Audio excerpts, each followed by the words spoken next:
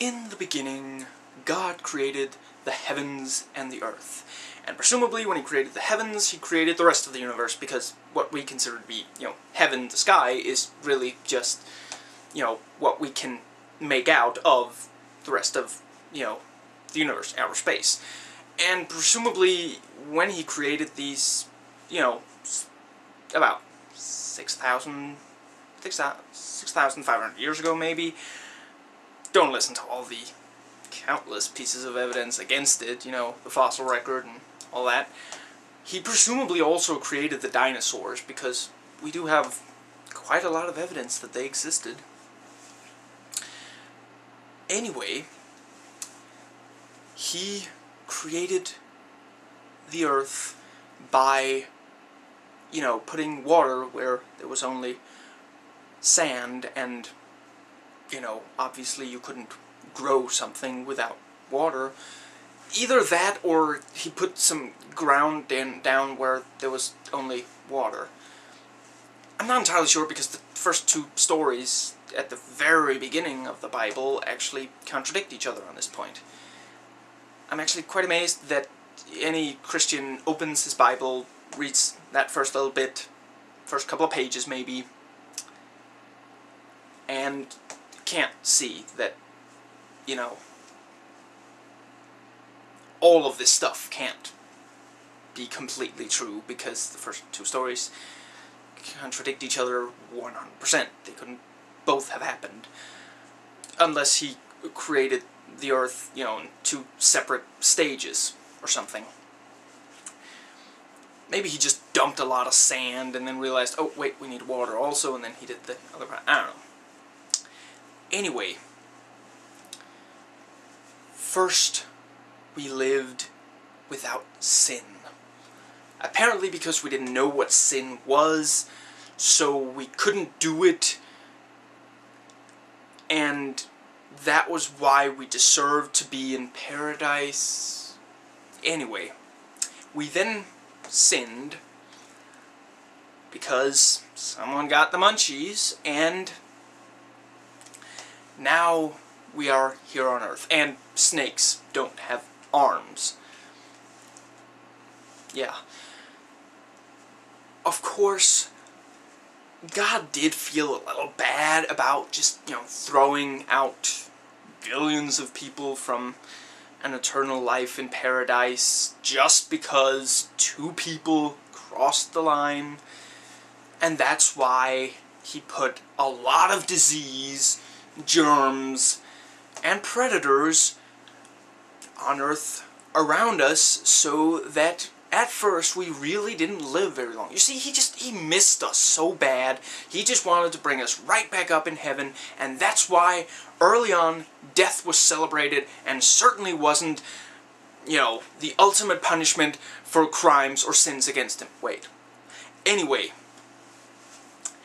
this went on for quite a while until technology, you know, helped out with that whole thing. You know, we got antiviruses, we got, you know, cures, vaccines,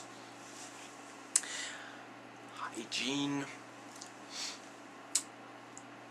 a lot of things that drastically prolonged our existence here. I don't know, maybe God doesn't miss us quite as much anymore.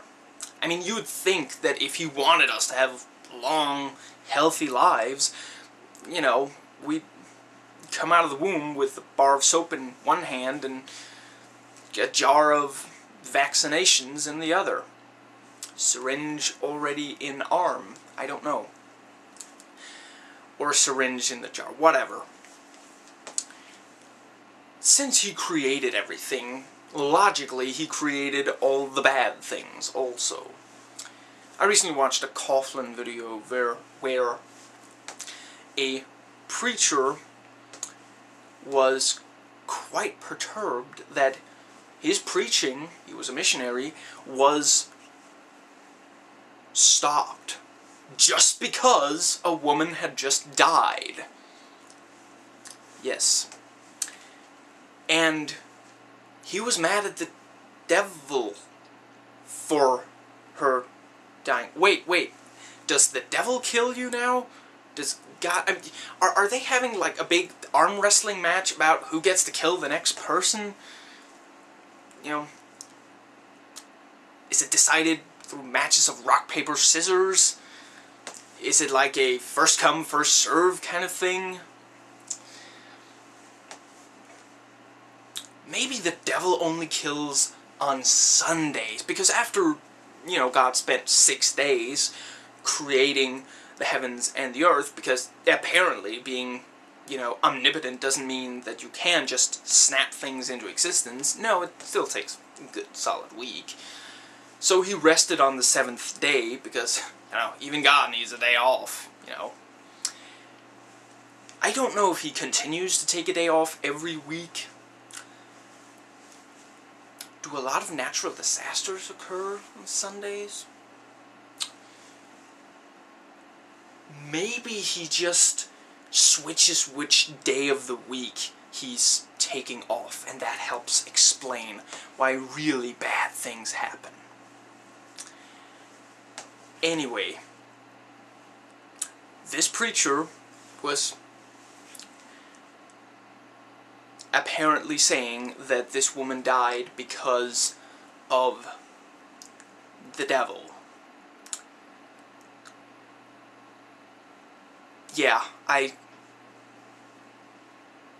don't quite think all the Christians quite agree on if God created everything, including the bad, or, you know, if the devil then came... If God loves us and you know, wants us to live long, healthy lives, why doesn't he eradicate disease? I mean, if the devil made it, surely God can unmake it, right? I've already raised the point in one of these videos that surely God can, you know, undo what the devil does. I mean, why would he give too much power to one of his subjects?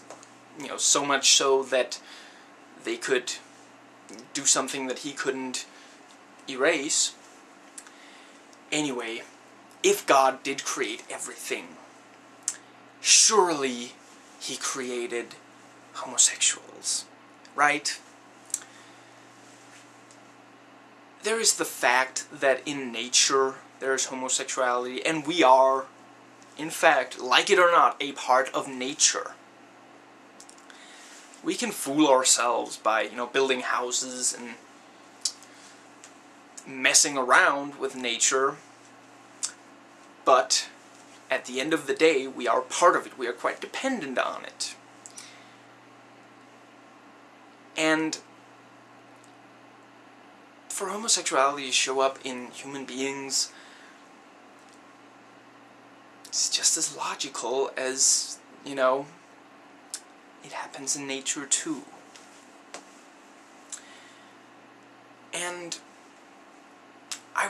want to know, you Christians, or religious people in general, who hate homosexuals, is it worse for a homosexual to be doing, who is doing good?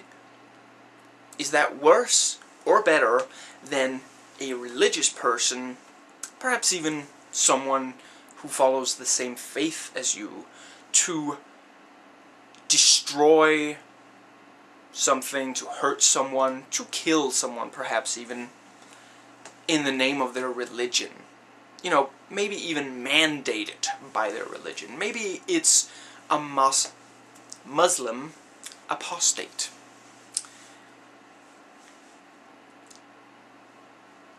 I, I would like to know that. Religious people don't have some kind of monopoly on doing good. And in fact, many religious people do very bad because they're quite sure that they're right. And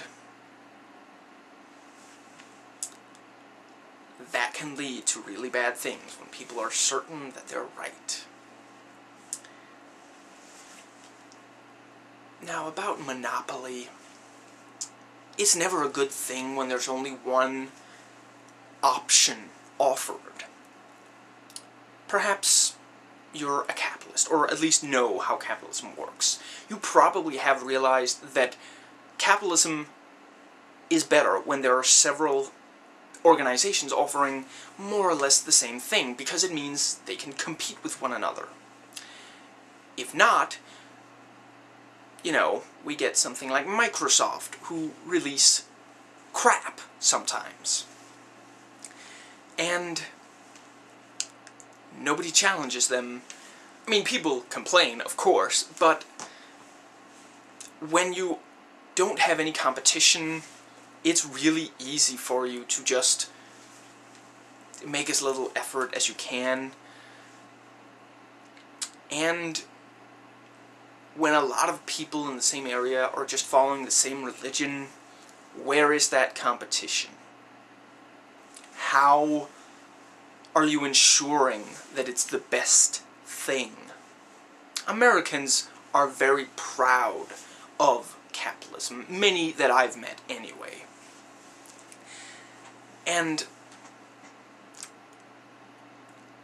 I just have to wonder why you do not apply that to your morality. I mean, if you demand that the orange juice you buy for your children's breakfast be the best and the cheapest and the most efficient that there could be in your particular area, at least, then how come the ideas that are to govern their sense of right and wrong, to decide their path in life through their choices.